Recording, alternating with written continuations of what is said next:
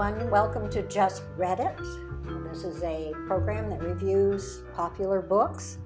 My co host is Susan Stoner on my right here, and our lovely guest is Jacqueline Edwards, who has a new book out. Jacqueline's been with us before. You may recognize the book, The Price of Perfection. We recommend it. And um, but today we're talking about a mystery writer most of you know, Martha Grimes. Uh, and her latest book is 42 Vertigo, Vertigo. a sort of takeoff on uh, the thriller Vertigo. And, uh, well, it's a mystery, so maybe you can talk to us about. Oh, I wanted to say Jacqueline has just been admitted to graduate program in publication. Mm-hmm. So we are very honored to have her back with us. Go ahead. And this is Caroline Miller. Oh, yes. And yes. she's a writer of Gothic novels. Yes. Thank you. Good. Thank you for taking care of me, Susan. okay, Jacqueline, go. Um, well, I, I liked Vertigo 42. Um, it's, uh, I, it, it very had a, it had a very strong Agatha Christie feel to it the whole time. And I've always loved Agatha Christie. Um, it uh, the story kind of follows superintendent uh, of the London. Oh, what's the word I'm looking for? Uh, Scotland Yard. Yeah. Uh, New Scotland. Yes, New Scotland Yard. That was I was. Uh, uh, Richard Jury, and he is investigating an old case um, about a fall downstairs, and hence the vertigo. And there end up being several other crimes that uh, he notices that several bodies. yes, exactly. they just keep building up.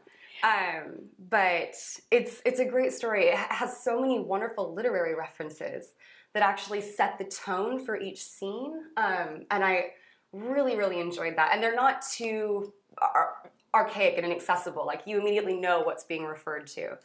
Um, yeah, no, it was wonderfully written. I really enjoyed it. Um, there were a couple things that I had concerns about via the plot.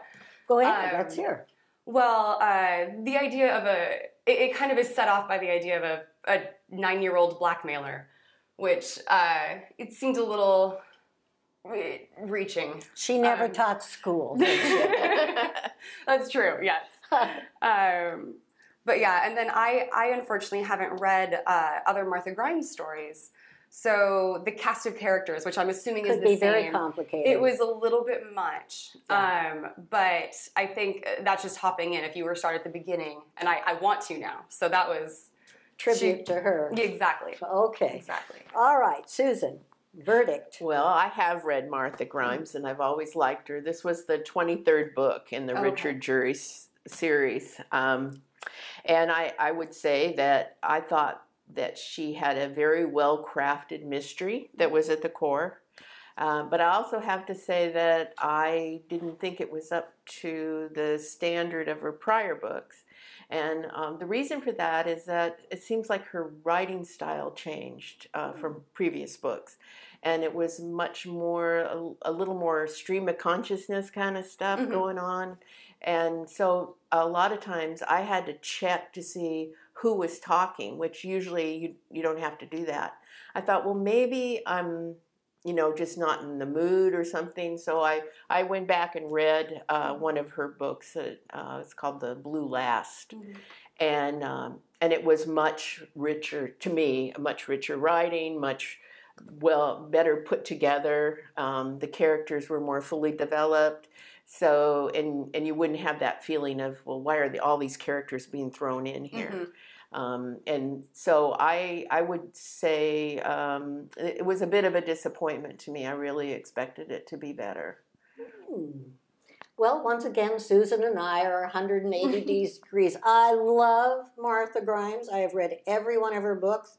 She is better than Agatha, Agatha Christie because Agatha's characters are paper dolls, you know, except for for the little gray cells or you know. I, this woman has a cast of characters, which I would say to people who've never read Martha, probably start earlier because there's a rich history with each of these characters, which, if you know it, is, mm-hmm. it, is immensely immensely funny. It was gently referenced several times, and it made me want to know what yes. that story was. What yes.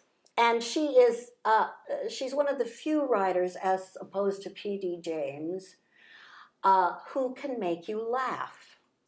And the characters are quirky, uh, eccentric, identifiable. The plot was, I thought, a little more complex than it needed to be, uh, but it was pure Grimes and her style Mhm. is it is more literary than mystery. So it is a literary piece of Mhm. uh, fiction, as well as having the benefits of a who done it and uh, trying to figure out who who who did it and who benefited Yeah. and all of that. Anyway, my choice is that this is one of her better ones because it is so dense and it is so complex. But again, I think it would be a hard one for a first time reader to just jump in. So I didn't know you liked Martha Grimes. That's good, but uh, we do we do differ on this one. I I think Mhm. she's just reaching the peak of perfection. Hmm. But I actually agree with both of you. um, I did have to look back and kind of figure out who was talking, exactly how it kind of influenced other people and that kind of thing. That that side of thing. But I did like how the the it's three different cases essentially that that kind of intertwine, and I liked the way that they intertwined. Yeah, and that's the Um, part I did think was yeah. was well done and well crafted.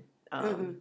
And and I think the mystery was a surprise. Yes. And and uh, so I, I like that aspect of it. and the way he toys too with the Mhm. guilty party Yeah. at the end is very and the way they fence. Mhm. Well, we have to wrap this up from beautiful Laurelhurst Village Retirement Center.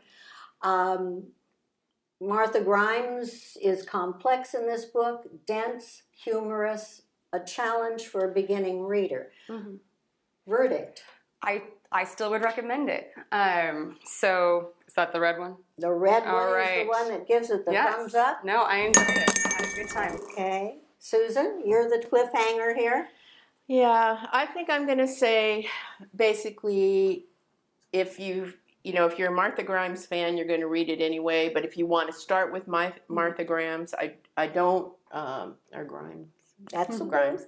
I don't uh, I don't recommend it as your first book. Well, I'd have to agree with that, but I, I think you could probably get it. I vote read for Martha Grimes. Right. and uh, that's it for this episode of Just Read It.